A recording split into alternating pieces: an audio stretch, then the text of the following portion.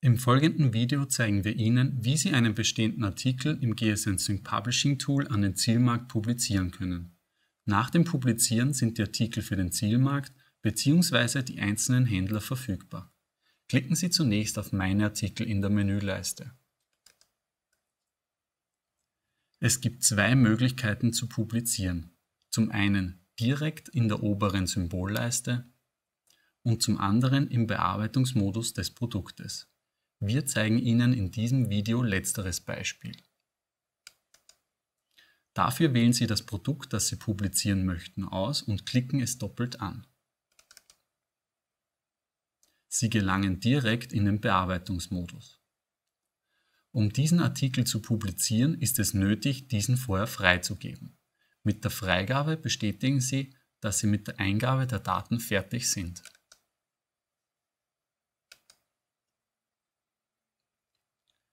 Sobald Sie auf Publizieren in der rechten Spalte klicken, öffnet sich ein neues Fenster.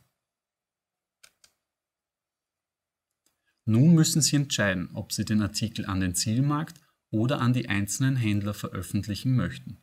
Die auszuwählenden Händler-GLNs werden Ihnen angezeigt, wenn Sie auf die Lupe klicken.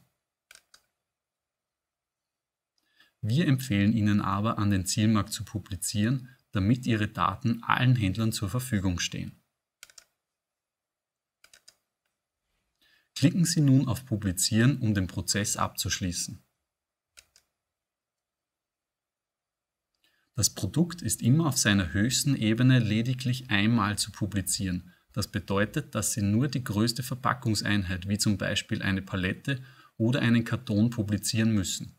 Die darunterliegenden Artikel werden automatisch mitgesendet.